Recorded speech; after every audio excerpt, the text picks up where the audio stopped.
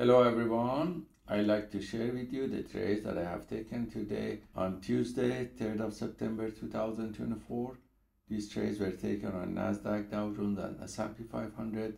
If you look at the one hour macro chart, we see that the price after retesting the previous day close and high during the Asian session started to go down during the London session and it continued to go down pre-market strongly and since it broke to support levels on other E-minis, we will take sell short position on every pullback with setup T.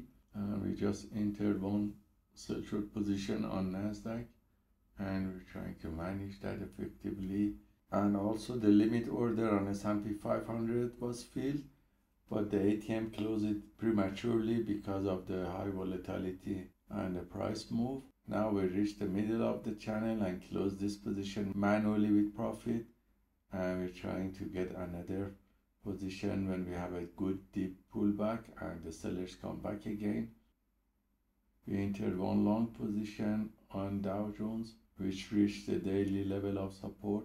We set up B and see what happens.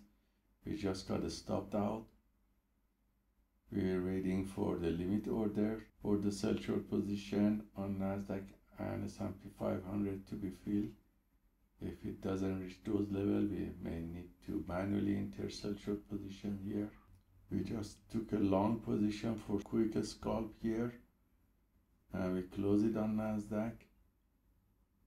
Now we see if the buyers are coming back. Take sell short positions on Nasdaq the volatility on Dow Jones is high, so we're not taking any position now.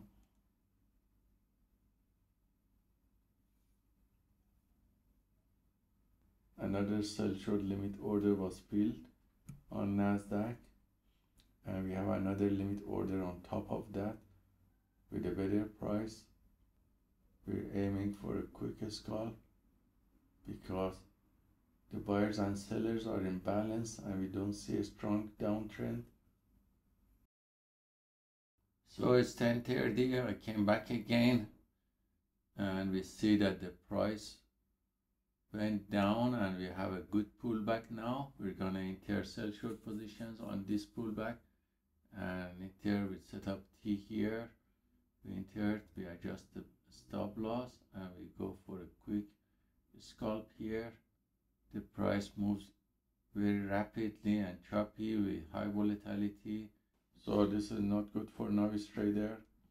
And we aim for quick scalp and we just close this position with small profit. And we waited for a while till the price calmed down. It's very choppy on Nasdaq and S&P 500, but it shows a nice regular uptrend on Dow Jones.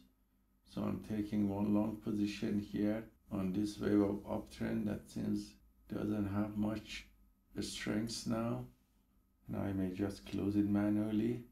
Okay, so I think the volatility is too high and let's finish for the day. All these signals were copied by copy trader to multiple Apex Trader funding accounts. And let's look at the stats of this account. That shows it was positive. We reached profit factor of 10.78 which is coming from 62% win rate, 80% from the sell short positions. That was taken mainly. The average win to loss ratio was about 6 and the largest winning trade was $200 and the largest losing trade was $31. So hope these trades taken by the PAAT system for fast scalping is useful for you and let us know if you have any questions. Have a wonderful day.